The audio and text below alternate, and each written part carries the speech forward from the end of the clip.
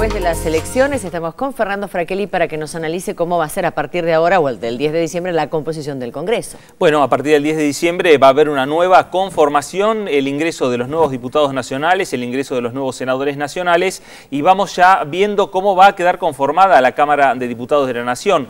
El Frente para la Victoria con sus aliados va a tener 135 diputados nacionales. Esto quiere decir que va a tener la mayoría absoluta, el quórum propio, eh, porque van a estar los diputados del Frente para la Victoria, más los aliados son el Frente Cívico y Social de Santiago del Estero, está Nuevo Encuentro, el Movimiento Popular Neuquino, eh, está también los diputados de Salta y hay una diputada por la provincia de La Rioja.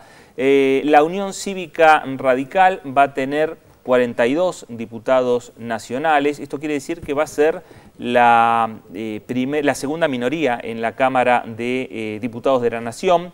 El peronismo federal va a tener 27 bancas, pero atención, hay que ver cuál va a ser la postura que van a adoptar los diputados, algunos diputados del peronismo federal, que podrían estar eh, en algunos debates legislativos acompañando al oficialismo, acompañando al Frente para la Victoria. Y después va a haber un bloque importante también de mm, diputados nacionales que pertenecen al Frente Amplio Progresista, de 17 legisladores, la coalición cívica va a quedar con 7, el PRO queda con sus 10 diputados nacionales y va a haber eh, diferentes legisladores de diferentes partidos políticos que van a conformar 19 legisladores que cada uno, digamos, van a ir eh, votando de acuerdo a los debates que se vayan dando en el recinto de la Cámara de Diputados. ¿Y en el Senado qué va a pasar? En el Senado va a mantener la mayoría el Frente para la Victoria, el Frente para la Victoria y sus aliados eh, van a sumar 38 legisladores, el Partido Justicialista Disidente 9, la Unión Cívica Radical 17, el Frente Amplio Progresista 4 y hay otros legisladores